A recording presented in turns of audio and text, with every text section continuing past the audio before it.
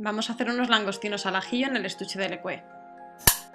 Separamos las cabezas de los cuerpos de los langostinos y los pelamos, y con ayuda de un cuchillo hacemos un corte y quitamos el intestino.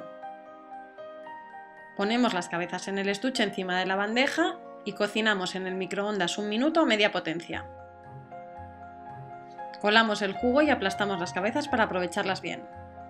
En el estuche sin lavar echamos el aceite de oliva, los ajos, los cuerpos de los langostinos, el jugo que habían soltado, la cayena o guindilla y sal. Cerramos y cocinamos en el microondas a 800 vatios de un minuto y medio a dos, dependiendo del tamaño.